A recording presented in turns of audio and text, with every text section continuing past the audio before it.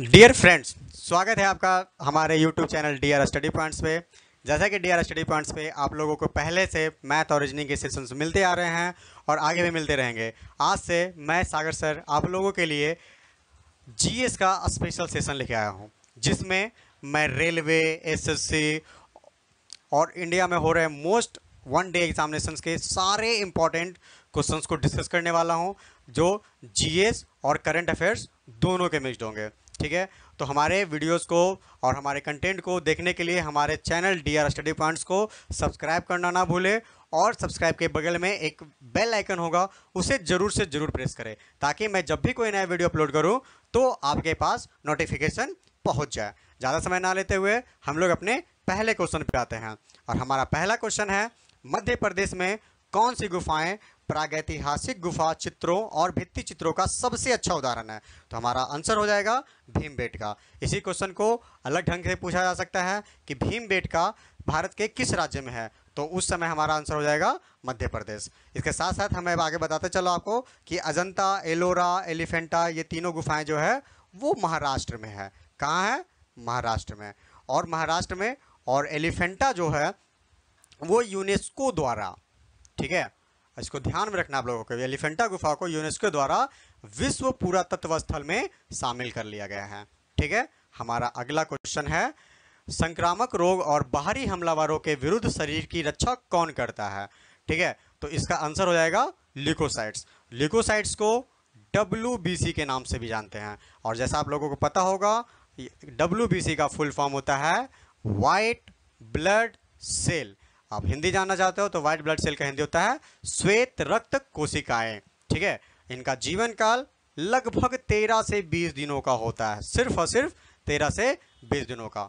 चलिए, एक और चीज़ बताता चलूँ आप लोगों को, लाल रक्त कोशिकाओं के बारे में। लाल रक्त कोशिकाओं का जो जीवन काल होता है, वो लगभग सौ से एक सौ बीस दिन का होता है, ठीक है? और यही जब आप शिशुओं की बात करते हो मतलब छोटे बच्चों की बात करते हो तो उनका जो जीव लाल रक्त कोशिकाओं का जीवन काल होता है, वो लगभग अस्सी से नब्बे दिनों का होता है। ठीक है? चलिए, हम अगले प्रश्न की ओर। तो हमारे प्रश्न में ये कह रहा है, निम्नलिखित में से कौन सा जंतु कोशिकाओं में मौजूद नहीं होता है? तो कोशिका भित्ति जंतु कोशिका में मौजूद नहीं होता है, ये सिर्फ़ और सिर्फ़ पादप कोशिकाओं में मौजूद होता है। ठीक है? और इसी साथ हम लोग बताता चलो कि माइट्रोकॉन्ड्रिया को कोशिकाओं का पावर हाउस भी कहते हैं। ठीक है? क्या कहते हैं? पावर हाउस, दैट मीन्स बिजली घर। राइबोसोम राइबोसोम को नाइट्रोजन के स्थिरीकरण के लिए जाना जाता है। ठीक है? नेक्स्ट क्वेश्चन है हमारा, निम्नलिखित में से किस व्यक्ति को पंजाब पुलिस के महानिदेशक के रूप में नियुक्त किया गया है? तो दिनकर गुप्ता को पंजाब पुलिस के महानिदेशक के रूप में नियुक्त कर लिया गया है। ये सुरेश अरोड़ा जी का स्थान लेंगे। ठीक है? हमारा नेक्स्ट क्वेश्चन है, भारत ने अपने किस पड़ोसी देश के साथ पंचशील समझौते पर हस्ताक्षर किए थे? तो भारत ने चीन के साथ पंचशील समझौते पर हस्ताक्षर किए थे, जो उन्नीस सौ चौवन में हुआ था। इसमें टोटल पाँच सहमतियों पर हस्ताक्षर किए गए थे। शांति को लेते। ठीक है, हमारा नेक्स्ट क्वेश्चन है, ऑस्कर अकादमी पुरस्कार समारोह किस देश में आयोजित किया जाता है? तो ये लॉस एंजलिस, यूएसए में आयोजित किया जाता है।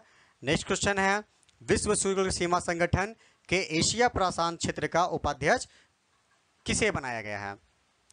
तो सबसे पहले तो आप लोग ये जान लो कि डब्ल्यूसीओ की स्थापना जो है, वो 26 जनवरी उन्नीस सौ बावन में हुआ था। ठीक है? इसमें टोटल छः प्रांत हैं। ठीक? और एशिया प्रशांत क्षेत्र का जो उपाध्यक्ष बनाया गया है, वो हमारे प्यारे देश भारत को बनाया गया है। ठीक है? नेक्स्ट क्वेश्चन की ओर बढ़ते हैं। किस टेनिस खिलाड़ी ने चेन्नई ओपन एटीपी चैलेंजर 2019 का खिताब अपने नाम किया है? तो वो हैं कोरेंटिन मोटेटो। कोरेंटिन मोटेटो ने Chennai open a ATP challenger का खिताब नाम किया है। ये फ्रांस के हैं। कहाँ के हैं? फ्रांस के। और इन्होंने एंड्रियो हैरिस को हराया है, जो कि ऑस्ट्रेलिया के हैं। ठीक है? चलिए, हम लोग अपने अगले क्वेश्चन की ओर बढ़ते हैं। पनामा पेपर किससे संबंधित है? पनामा पेपर जो है, वो काला धन से संबंधित है। और इसमें सबसे मोस्ट इंपॉर्टेंट चीज़ आप लोगों को ध्यान में रखना है कि इसमें अबाउट 1.5 मिलियन का डाटा लीक हुआ था। ठीक है? देखो। हाँ निम्नलिखित में से कौन सा कौन मौलिक अधिकारों का संरक्षक है? तो सबसे पहले तो ये जान लें कि हमारे कुल छः मौलिक अधिकार हैं, ठीक है? और जो हमारा मूल संविधान है, उस मूल संविधान में टोटल सात मौलिक अधिकारों का वर्णन है, जिसमें से संपत्ति के अधिकार को मौलिक अधिकारों से हटा लिया गया है, और अब वो कानूनन अधिकार के अंतर्गत आता है और मौलिक अधिकारों का संरक्षक जो है वो हमारा न्यायतंत्र न्यायतंत्र कहने का मतलब हो रहा है सुप्रीम कोर्ट। अगर आपके मौलिक अधिकारों का हनन होता है तो आप सुप्रीम कोर्ट अप्रोच कर सकते हो। हमारा नेक्स्ट क्वेश्चन है, वैज्ञानिक रूप से पहली बार न्यूरो इंजीनियरों की एक टीम ने एक ऐसी प्रणाली बनाई है जो विचारों को सीधे पहचानने योग्य भाषण में अनुवाद कर देती है। न्यूरो इंजीनियरों की टीम किस विश्व प्रसिद्ध विश्वविद्यालय से है? तो वो है कोलंबिया विश्वविद्यालय से। तो हमारा ऑप्शन नंबर सी करेक्ट है। और ये कोलंबिया विश्वविद्यालय कहाँ है? तो ये न्यूयॉर्क में है। ठीक है? हमारा अगला क्वेश्चन जो है, निम्नलिखित में से किसे महात्मा गांधी का राजनीतिक गुरु माना जाता है? Gopal Krishna Gokhale. Option number B मतलब गोपाल कृष्ण गोखले को महात्मा गांधी का राजनीतिक गुरु के रूप में माना जाता है। ठीक है? हमारा नेक्स्ट क्वेश्चन है, भारत के संविधान में मूल रूप से कितने अनुच्छेद थे? तो भारत संविधान में मूल रूप से तीन सौ पंचानवे अनुच्छेद थे। ठीक है? और अभी हमारे मूल संविधान में 448 अनुच्छेद है। ये साथ आप एक भी बात और जान लो कि पहले जो भाग की संख्या थी, वो 22 भाग थे। लेकिन अब हमारे संविधान में कुल 25 भाग है। ठीक है? हमारा नेक्स्ट क्वेश्चन है, केंद्र सरकार निम्नलिखित में से कौन सा शुल्क लेती है और एकत्र करती है? तो इसका आंसर हो जाएगा ऑप्शन नंबर डी ये सभी संपत्ति शुल्क, सीमा शुल्क, निगम कर, ये तीनों कर केंद्र सरकार द्वारा एकत्र की जाती है। हमारा नेक्स्ट क्वेश्चन है गर्म पानी अभ्यारण्य कहाँ स्थित है? तो इसका आंसर हो जाएगा, आसाम के कार्बी आंगलोंग में गर्म पानी अभ्यारण्य स्थित है। इसका एरिया जो है, वो approx six point zero five वर्ग किलोमीटर है। ठीक है? हमारा नेक्स्ट क्वेश्चन, कौन सी भारतीय नृत्य शैली सबसे पुरानी है? तो अब यहाँ पूछा जा रहा है आपसे कि भारतीय नृत्य शैली जो कि सबसे पुरानी है, वो है हमारा भरतनाट्यम, जो कि तमिलनाडु का क्षेत्रीय नृत्य है, ठीक है? उड़ीसी जो नृत्य है, वो उड़ीसा से बिलोंग करता है। कुचिपुड़ी, आंध्र प्रदेश का लोक नृत्य है और कथाकली जो है वो हमारा केरला का लोक नृत्य है, ठीक है? हम अगले क्वेश्चन को बढ़ते हैं, जो कि है डीएनए डबल हेलिक्स का वर्णन किसने किया है? तो डीएनए डबल हेलिक्स का वर्णन जेम्स वाटसन और फ्रांसिक क्रिक दोनों ने मिलकर किया था। ये उन्नीस सौ तिरपन में किया गया था, ठीक है? हमारा नेक्स्ट क्वेश्चन है New York Times travel show 2019 में किस देश ने बेस्ट इन शो के लिए उत्कृष्टता का पुरस्कार जीता है? तो ये भारत ने जीता है, ठीक है? और ये 24 से सॉरी 25 से 27 जनवरी के बीच आयोजित किया गया था, ठीक है? हमारा अगला क्वेश्चन है गुजरात में पहली बार जजिया कर किसने लागू किया था?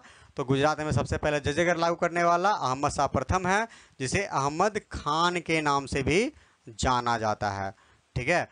और इसने ग्यारह, चौदह सौ, ग्यारह से चौदह सौ बयालीस तक मतलब अपने मृत्यु तक शासन किया था। ठीक है? ये आपको याद रखना है। हमारा अगला क्वेश्चन है, भारत में प्रकाशित होने वाला पहला साप्ताहिक समाचार पत्र कौन है? तो हमारा पहला समाचार पत्र है, बंगाल गजट। जो कि 1780 में कलकत्ता में प्रकाशित किया गया था। यह एक अंग्रेज़ी समाचार पत्र था। ठीक है? जिसे प्रकाशित करने का श्रेय जाता है जेम्स हिक्की को। ठीक है?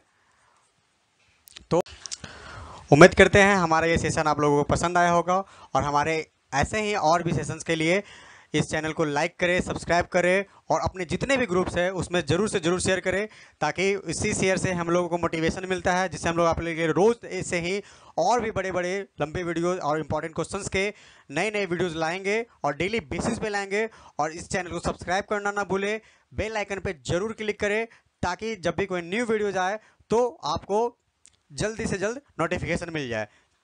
धन्यवाद।